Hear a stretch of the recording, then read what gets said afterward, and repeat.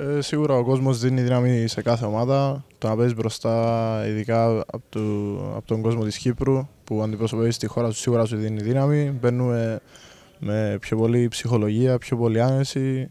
Όλοι ζουν το παιχνίδι ακόμη πιο έντονα και σίγουρα η παρουσία του κόσμου θα βοηθήσει στο τελικό αποτέλεσμα. Είναι τεράστια η σημασία μου γενικά το να βρίσκομαι στις προπονήσεις της Εθνικής Ανδρών πλέον. Ε, το κλίμα είναι πάρα πολύ καλό. Μαθαίνω όσα πιο πολλά μπορώ από τους προπονητές μου, τους δύο αρχηγούς μας, τον Σάιμον και τον Νίκο. Το κλίμα είναι πάρα πολύ καλό. Ό,τι θέλω είναι δίπλα μου όλοι και θα δούμε, συνεχίζουμε.